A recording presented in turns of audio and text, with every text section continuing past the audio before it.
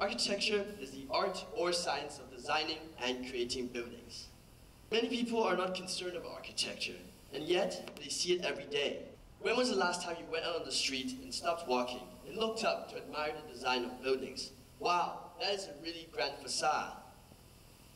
These ionic pillars really bring out a Greek feeling. Wow, this canopy with its 15 degree slant is so stylish. No, just don't. But now, imagine a world without architecture. The now bustling city has transformed into a desolate green landscape. Everywhere around, there are only trees, hills, plains, and grass, and the sky. There are barely any people around because life is hard to sustain without any sort of shelter. After a hard day's work, you come back looking for food and shelter, but you realize that the sun is setting and it's too late. You settle down in the grass, shivering in the cold. Now imagine rain, snow, sleet, the burning sun in the afternoon, lions, tigers. Where would you go? Well, you could live in the cave, but who would want to do that? Nowadays, we are so lucky. We can go back to our homes with no worries. In the mornings, you can go to school or work in a nice building. On the weekends, you can go shopping in nice malls. You can do exercise in indoor swimming pools. And architecture brings us together. It's a place for us and our families to gather together. Okay. Now let's backtrack a bit. Did you know the first architect in the world was Imhotep? Before him, tombs, tombs for kings in Egypt did not have any design elements. So after kings uh, died, they were buried in boxes like these. And they're really boring. Imhotep changed all of this. He designed the first step pyramid, in which six mastabas of decreasing size were stacked on top of each other. This set the groundwork for the design of other buildings in the future. Look at this impressive pyramid. It's a pyramid of Giza. It was built 4,500 years ago, and it still stands now. After ancient Egyptian architecture, there was ancient Greek architecture, and introduced us to the famous Greek temples. This is the Parthenon. This is how it looks now, and this is how it would have looked before and is still largely intact. This proves that architecture is an indication of history. Now, architecture is in many ways art. In this building, it's like it's dancing. It's actually called the Dancing House. Over time, architecture became iconic in many countries. For example, the Eiffel Tower.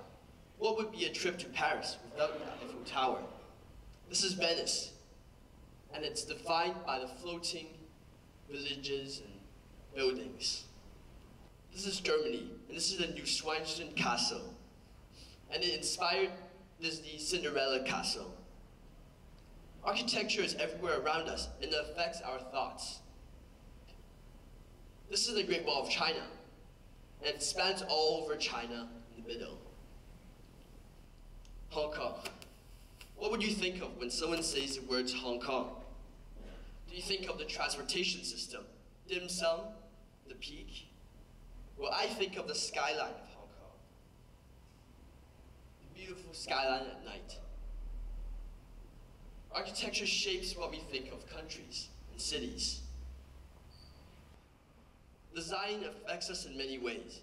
It affects our emotions, our view of the world, it affects our values, and it affects even our ability to perform. This is a church, and churches are usually grand and upreaching.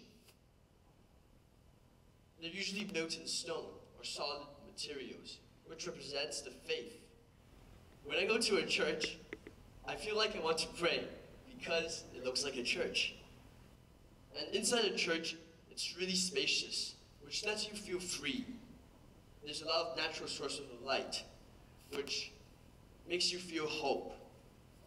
This is the same with schools. In a school, what you do inside is largely motivated by the design. Before, schools were defined by the traditional lockers, corridors, big and boring classrooms, traditional seating. But nowadays, school, schools in the world are starting to be defined by big, big and bright open spaces, integration of technology. And this is our school, actually. And students in schools, if it's a really good environment, they're more inclined to learn and to behave. But if they're in a really bad environment, they're more inclined to act out and do bad things. This is why all schools should be designed to promote innovativity. The heights of ceilings actually affects the way you perform. This is a really high ceiling, and it makes you feel more free and liberated. This is a really low ceiling, and it makes you feel more constrained.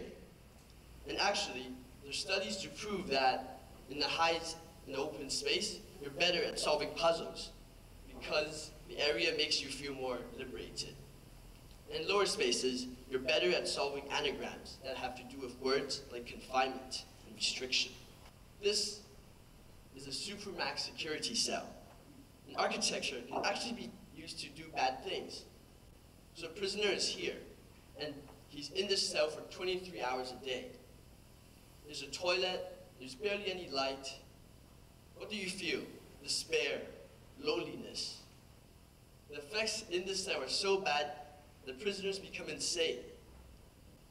Color is also a factor in affecting design.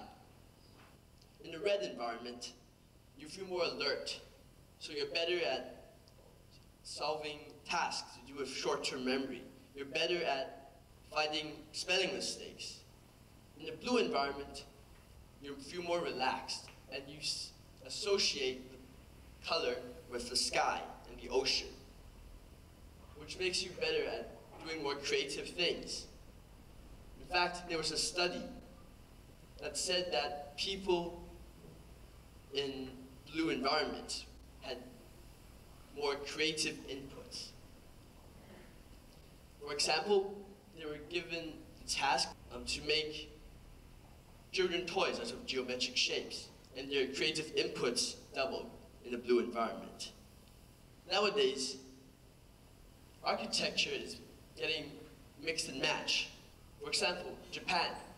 Traditional Japanese architecture is defined by its wooden, wooden, uh, wooden walls, its slanting roofs, and beginning the 19th century, it's starting to become mixed with more Western styles.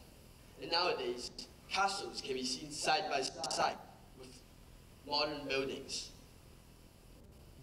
This really represents the evolution of architecture. This is IFC. And when you see IFC, like, wow, all that glass. Like, how was this possible 1,000 years ago? This really represents how fast we're advancing. You walk closer to it, get a feeling of awe and wonder. Nowadays, we have giant malls like the Dubai Mall, the Burj Khalifa. This is the beautiful skyline of Hong Kong. And architecture really beautifies the earth. Here, it integrates nature with design. And architecture is really indication of history. And what I want to say is that architecture is everywhere around us, and it shapes us as human beings. It brings us together. It gives us spaces to play, to learn, to live, to enjoy life, to experiment, and to invent. Without architecture, there's no fun in life. And next time when you go out on the streets, you should look up and actually look at the design of buildings and how it affects you.